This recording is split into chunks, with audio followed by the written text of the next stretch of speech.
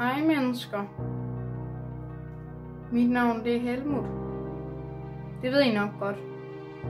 Undskyld, jeg lige havde en papkasse på hovedet. Jeg skulle bare lige se, om jeg godt måtte snakke til jer. Men kan jeg godt lige få lov til lige at gå ud og sige godmorgen til fuglene? Jeg er altså kun lige stået op.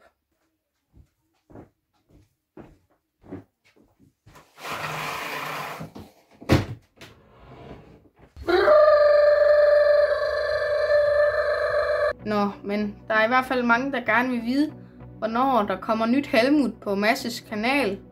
Og det gør der altså først, når Mads han har fået 100 subscribers. Så hvis I ikke allerede har subscribet, så, så, så gør I bare sådan, der går længere tid, før der kommer Helmut. Ja, det er jo faktisk dumt at gøre, medmindre du hader mig. Nå, men jeg bliver nødt til at gå nu. Jeg har ligesom et ret vigtigt arbejde. Prøv lige at vente.